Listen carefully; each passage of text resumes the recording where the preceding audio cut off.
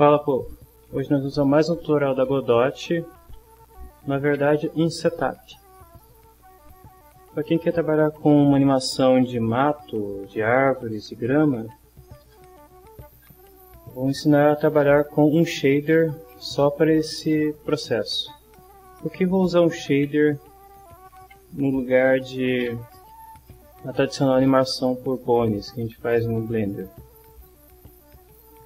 A animação por bones ela é custosa para a CPU. Já uma animação por shader, apesar de parecer limitada, ela é muito mais rápida, pois a GPU trabalha muito mais facilmente.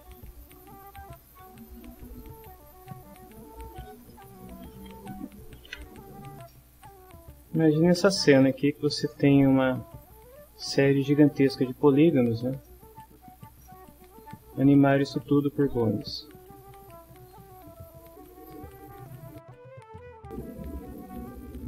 Vou pegar uma dessas instâncias aqui, editá-la.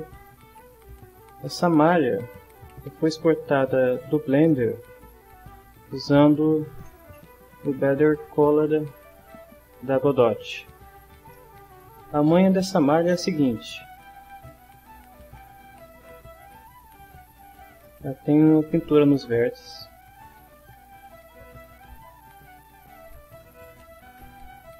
Onde é preto 000, eu considero que isso vai ter um peso zero. Onde nós temos uma outra cor, o valor dessa cor vai ser a quantidade de influência que ela vai ter naquele eixo. Entender melhor, pintar isso aqui, Vertex Paint, opção Brush, tudo zerado. Onde é preto seria o chão ou o tronco do, do mato. Vou trabalhar com R, colocando para 1. Aqui é a correspondência x, y e z. X é o nosso eixo horizontal, o Y vai ser o nosso eixo vertical, o Z vai ser a nossa profundidade. No caso, como estou pintando com 1, tudo que tiver no eixo X vai ser influenciado aqui com o peso de 1, que é o corpo que eu estou dando aqui. Agora eu quero influenciar no Y. Tem que vir aqui, modo add e dou o peso que eu quiser nesse eixo.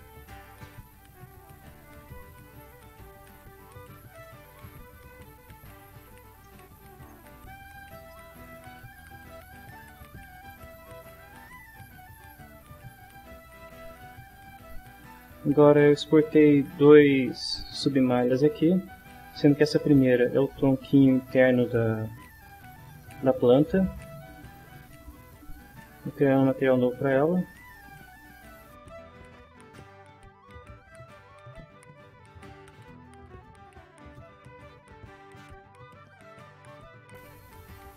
Voltar aqui. Esse vai ser o material das folhas. Aqui que nós vamos trabalhar a nossa animação.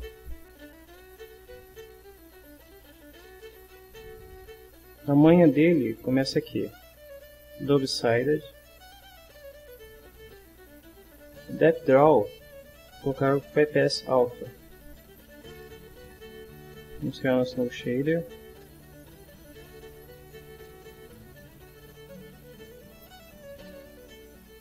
Aqui ele vai funcionar como o anterior. Uma entrada de dados padrão.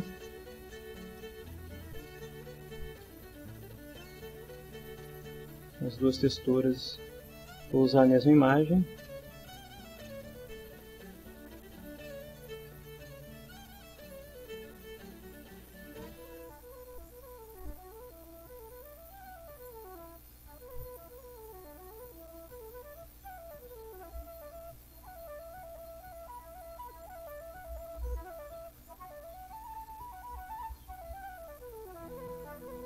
A diferença é que eu vou usar o alpha. Lembra que eu falei que nós exportamos as cores dos vértices, né? Elas ficam aqui. Aquela pintura aparece aqui para nós. Então nós vamos usar a cor normal aqui. Agora o importante do nosso shader é que nós vamos usar a parte do vertex do shader. Então é normal, vocês veem que temos umas variáveis diferentes aqui.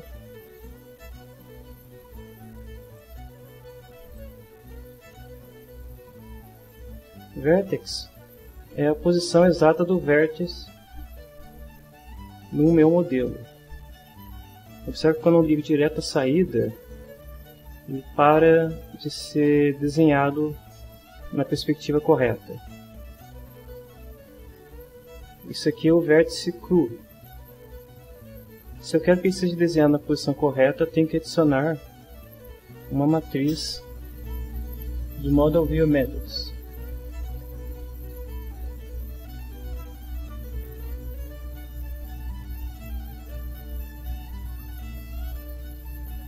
Transform Vector Multiply.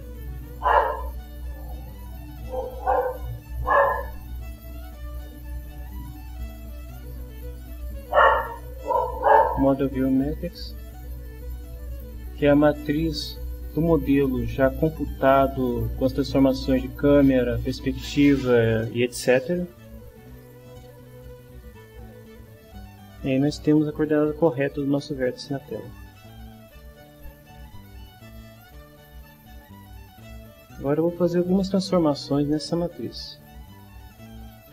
Primeiro eu vou inserir um input de time, que é o tempo corrente.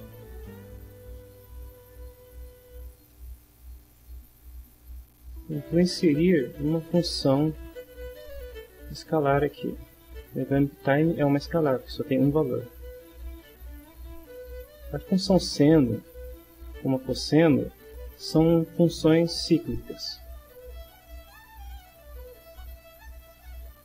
Como ele só tem um valor, eu tenho que transformar em três valores, como é o caso do vértice, que é um, é um vetor.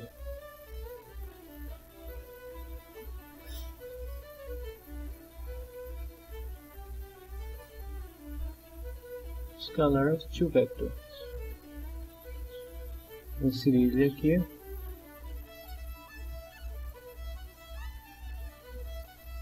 e vou fazer uma soma deste vetor com o vetor computado aqui anteriormente. Operações de vetores.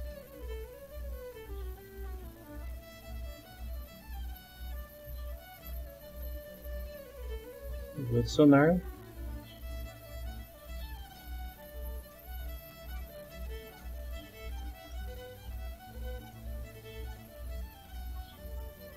já começa a animar.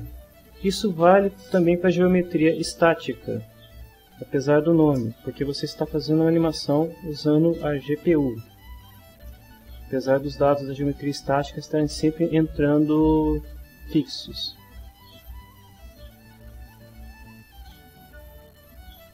Deixa eu colocar uma outra aqui.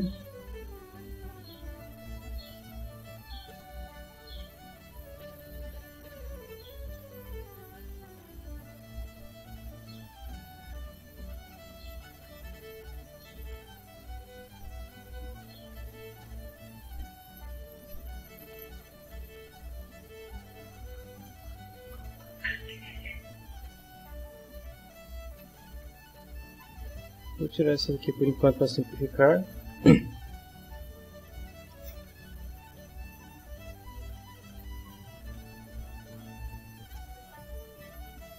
E agora eu quero que ela seja influenciada pelo peso do vértice para que ela não movimente toda a grama dessa forma bizarra que está acontecendo aqui.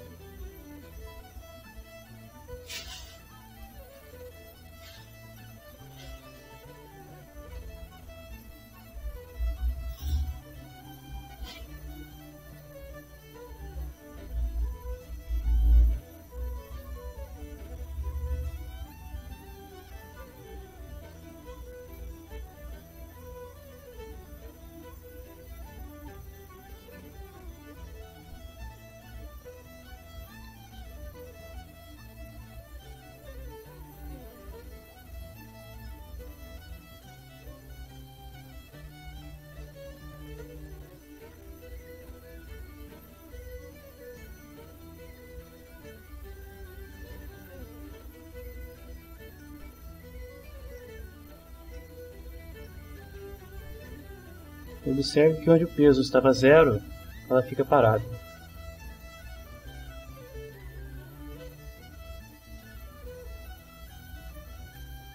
Aí você pensa, minha animação agora está funcionando, mas está muito exagerada. Nós vamos vir aqui e colocar um valor arbitrário para definir a escala dessa nossa dimensão.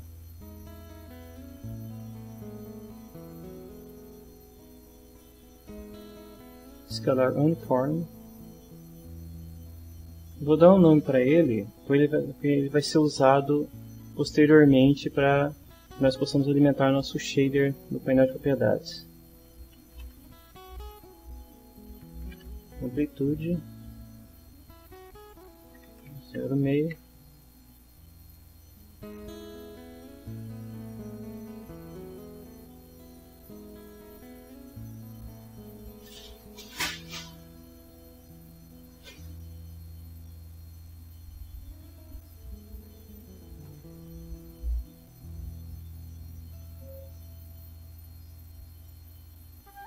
scalar functions, scalar operators,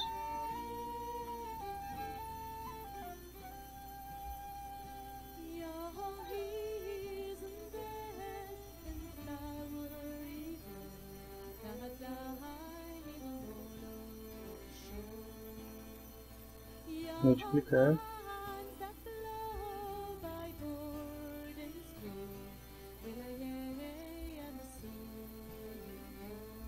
esse valor vai ser usado para alterar a influência.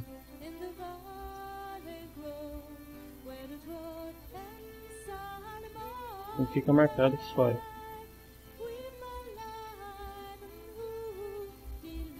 Então vocês na hora que forem alterar isso no material, basta vir aqui sem precisar editar o shader.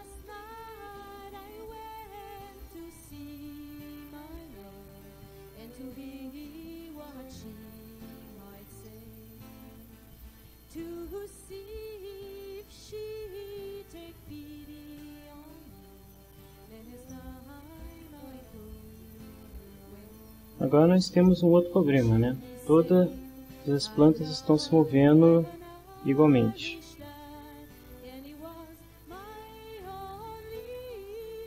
Vamos adicionar uma outra variável aqui. Eu vou pegar a matriz de mundo e minha matriz de vértice. Vou pegar minha matriz de mundo e meu coordenado de vértice.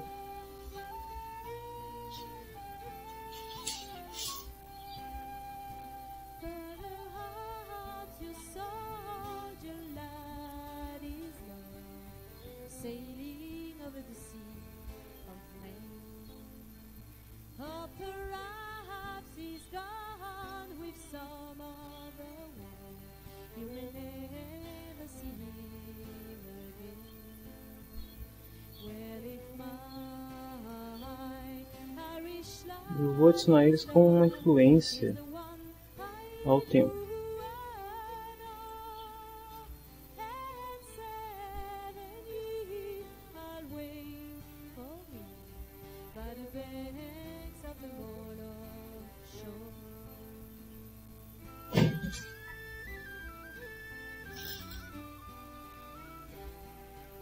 Vou usar a função vetor para escalar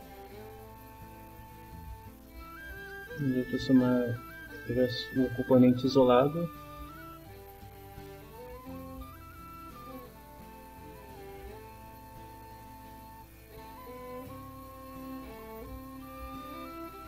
Mais uma operação com escalares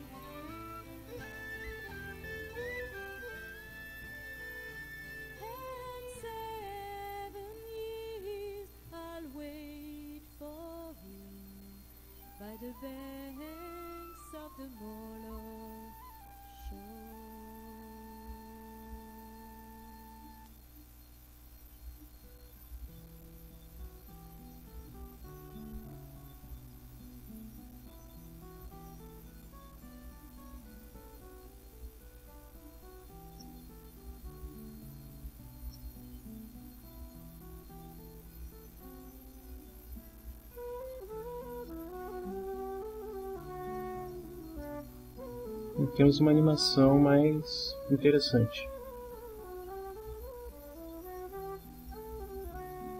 Essa matriz de mundo é a representação do nosso vértice sem as coordenadas de câmera ou de projeção.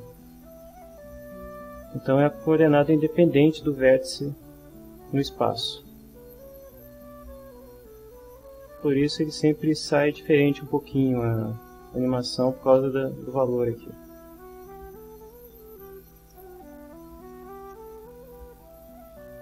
Aqui ele fosse sendo parado, né?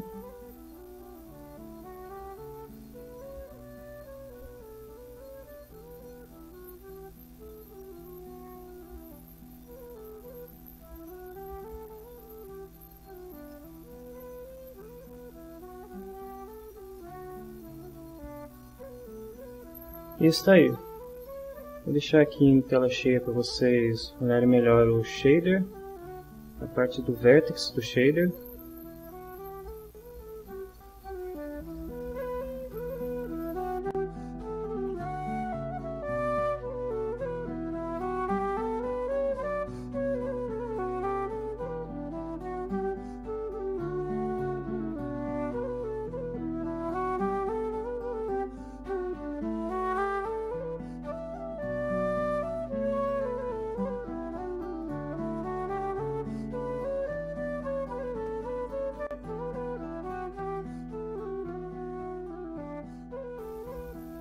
E é isso aí, até a próxima.